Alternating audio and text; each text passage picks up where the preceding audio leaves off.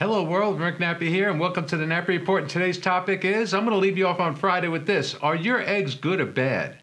Meet me on the other side.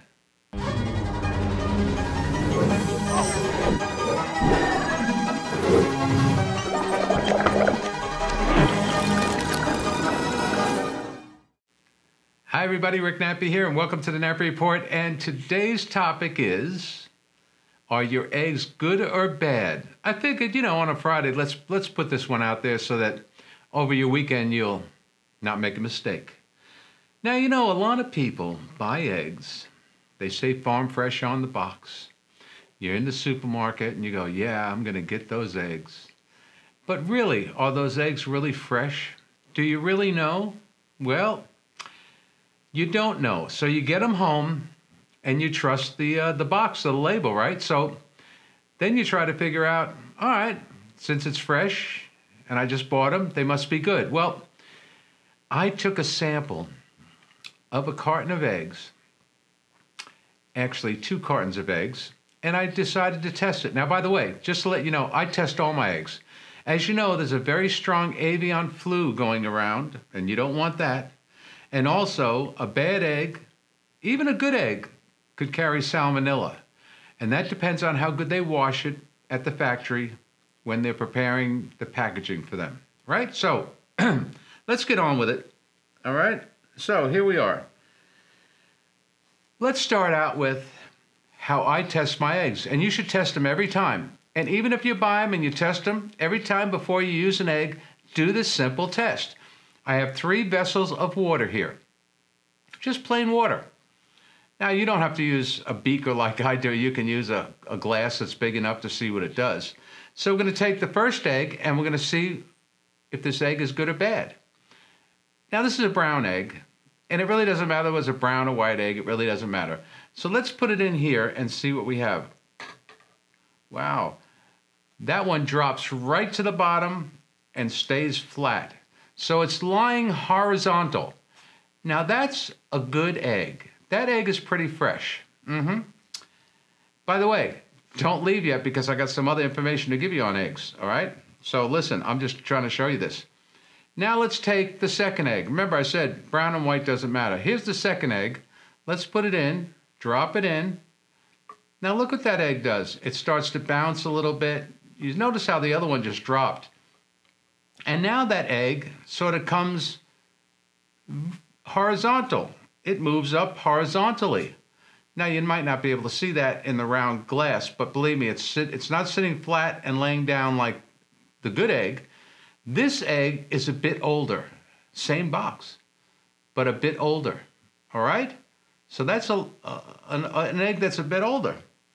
Now let's take our final egg and let's test that. I'm going to drop it right in here and that drop, whoa, that won't even go down. that, my friends, is an egg you don't want to eat. It's floating. And what happens from, from the first good egg to the older egg to this egg? Well, oxygen gets in there, the yolk shrinks a little bit, everything else shrinks a little bit, and then eventually it starts to float. That's an egg you don't want. Now, let me tell you a little something about eggs in general. Did you know? Did you know that in the supermarket, when you purchase an egg, a box of eggs, did you know that they could be anywhere from six months to eight months old? yeah, six months to eight months old. Those are your fresh eggs. Six to eight months old. they could sit around for at least three months in the factory before they even boxed up and uh, distributed. Think about that. So if you want fresh eggs, please patronize your local egg people, the people that have eggs that their chickens lay right there in your locale. And I'll tell you why. Corporate farmed chickens mass produce eggs and they're not treated like a local farmer treats their chickens. A local fresh egg really is fresh, and the turnover is very quick. Not only that, but the shell is a lot thicker. The yolk inside is a lot richer in color and it's creamier and smoother and it has actually more nutrients. So the older the egg gets, the less nutrients it has. So whatever it says, it doesn't matter. Now, let me tell you about another trick that you're not, not aware of. A lot of times when eggs expire, you know, they're on the box. It has an expiration date. Well, when a supermarket, and I'm not saying all of them, but some do this more than you think, they'll take those eggs off the shelf. They'll come pick the eggs back up. They'll send, be sent back to the factory. They will rewash the eggs Mm-hmm. Rewash, they will wash, rewash the eggs and put them in new boxes with a new expiration date. And then it comes back to the supermarket.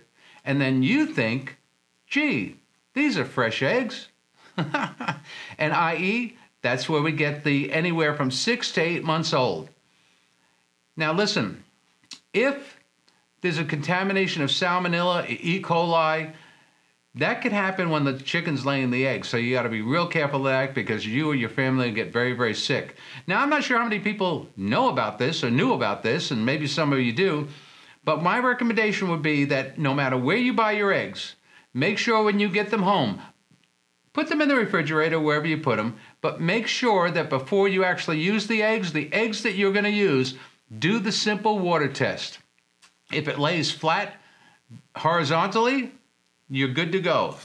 If it sits up uh, vertically and but still stays submerged, it's a lot older.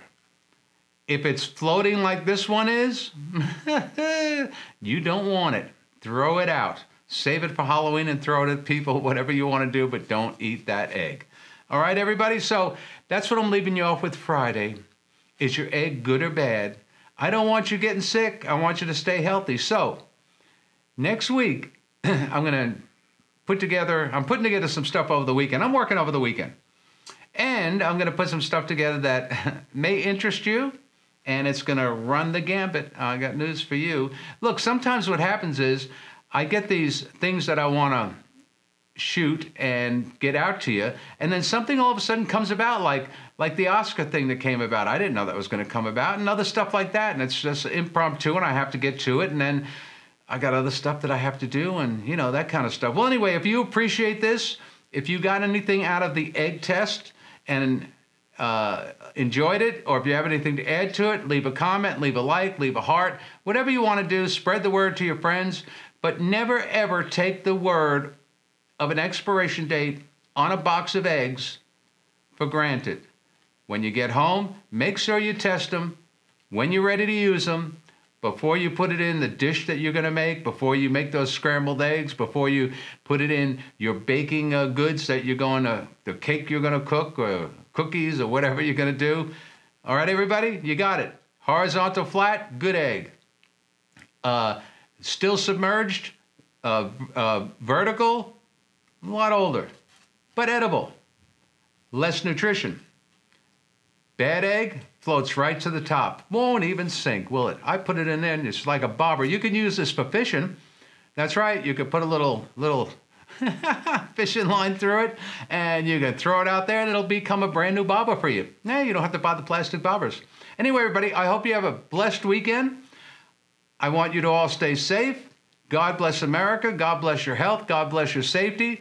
And God bless good eggs. Support those local farmers those local egg hatcheries and buy their eggs because there's a much better chance that they are extremely fresh and they are probably much more nutritious. All right, everybody, God bless. Have a great weekend. Stay healthy, and I'll see you Monday or Tuesday. We'll, we'll see. bye bye, everybody.